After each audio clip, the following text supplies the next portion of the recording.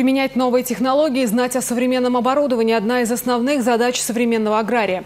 Держать руку на пульсе помогает выставка «День поля». Она предлагает на выбор практически все, что необходимо для успешной конкуренции на сельскохозяйственном рынке.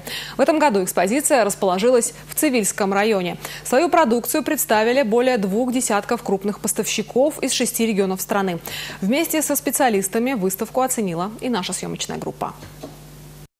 Уникальность нынешней выставки в том, что каждая единица демонстрационной техники показала полный технологический цикл, а это самое главное для специалиста – убедиться лично в ее надежности. К тому же покупается техника далеко не на один сезон. 50% техники имеет возраст более 10 лет, 30% более 5 лет, поэтому технику надо объявлять. А здесь появляется возможность всем прийти, посмотреть, потрогать, пощупать. В День поля в Цивильском районе выставили свыше 100 образцов инновационной сельхозтехники, а также энерго- и ресурсосберегающие технологии. Словом, проблем с выбором не было. Мы рады. Вот только что вот министр сказал, что на 100 гектаров э, мощности техники надо увеличивать, поэтому вот в этом направлении идем. Многочисленным коллективом руководителей, специалистов сельскохозяйственного производства района мы приехали, э, интересуются новой техникой, кто, у кого вот финансовые средства позволяют. Вот в районе сельскохозяйство развивается неплохо. По зерновым в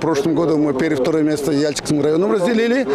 По животноводству, по производству мяса третье, молока третье. Поэтому э, двигаемся вперед.